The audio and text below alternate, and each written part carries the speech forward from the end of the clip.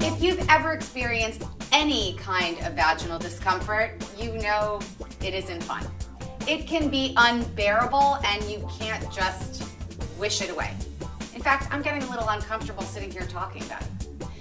The problem is that vaginal itching doesn't have a single cause. It could be a lot of different things.